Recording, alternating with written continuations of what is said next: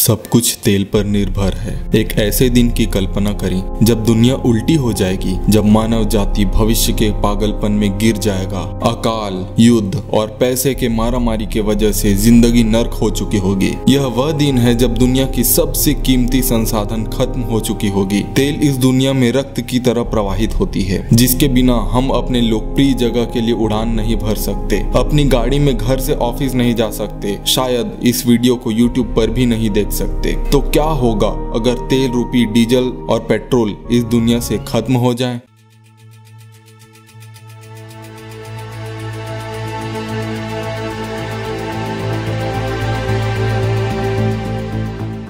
नमस्कार दोस्तों, अगर के पांचवे एपिसोड में मैं मुक्तेश आपका स्वागत करता हूँ। हम अपने जीवन में बहुत सी चीज़ों को ऊर्जा प्रदान करने के लिए तेल पर निर्भर हैं। ताज़ा आईईए ऑयल मार्केट रिपोर्ट के मुताबिक, इस वर्ष 34 बिलियन बैरल तेल की मांग रहने वाली है। अगर इसी गति से हम चलते रहे तो आखिर कब तक पृथ्वी पे मौजूद तेल हमारी जरूरतों को पूरा कर सकती है? हम ऑयल के बनने की प्रक्रिया को समझ लेते हैं। एक प्रमुख सिद्धांत के मुताबिक, मृत जैविक पदार्थ समुद्र की गहराइयों में, नदियों में और दलदल में इकट्ठे होते हैं। गुजरते वक्त के साथ इनके ऊपर मलबा एकत्रित हो जाता है। करोड़ों सालों तक ऐसा होने से यह मलबे भारी हो जाते हैं, जिसके चलते वहाँ का प्रेशर और तापमान बढ़ जाता है। इसकी वजह से वो जैविक पदार्थ, गाढ़े घने रंग के पदार्थ में तब्दील हो जाते हैं, जिसे कैरोजन कहा जाता है। इनमें से कुछ कैरोजन्स धीरे धीरे ऑयल और प्राकृतिक गैस में तब्दील हो जाते हैं, जिसे जीवाश्म ईंधन कहा जाता है। वैज्ञानिकों के अनुसार इस प्रक्रिया में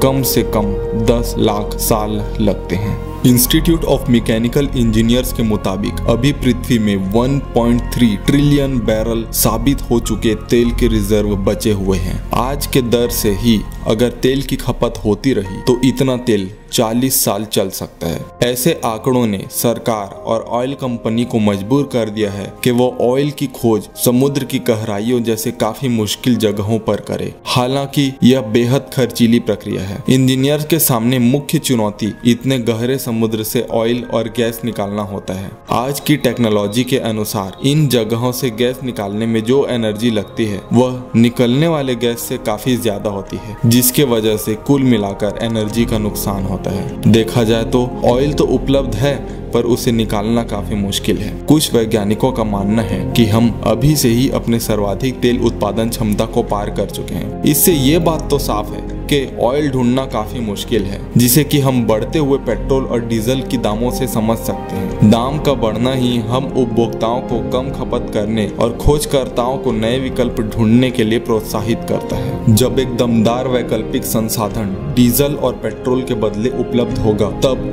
सर्वसम्मति से इनका इस्तेमाल खत्म हो जाने की सर्वाधिक संभावना है। पर अगर हम वैकल्पिक संसाधन खोजने में नहीं सफल होते तो क्या परिणाम होगा? वैश्विक अर्थव्यवस्था तुरंत ही विनाश के ढेर में गिर जाएगी। जिस प्रकार की जीवन शैली हम जानते हैं, वह खत्म हो जाएगी। रोज़मर्रा की ज़िंदगी में काम आने वाली सारी चीज़ों का उत्पादन बंद हो जाएगा। वस्तुतः सभी परिवहन बंद हो जाएँगे और ऐसे ही सारे विनिर्माण उद्योग भी बंद हो जाएँगे। करोड़ों की संख्या में लोग बेरोजगार हो जाएँगे। ठंड में रह रहे करोड़ों लोग मर जाएँगे। खाद्य सामग्री के सप्लाई में भी काफ़ी कमी आएगी, जिसके चलते लाखों लोग भूखमर्री से मर जाएँगे। पर जैसा कि हम पहले चर्चा कर चुके हैं, लोग ऑयल के वैकल्पिक साधन की खोज में लगे हुए हैं। और इस बात को हमें स्वीकार लेना चाहिए कि एकमात्र वैकल्पिक साधन से हम उसकी कमी पूरी नहीं कर सकते। हमें विभिन्न संसाधनों का खोज लगातार करना होगा।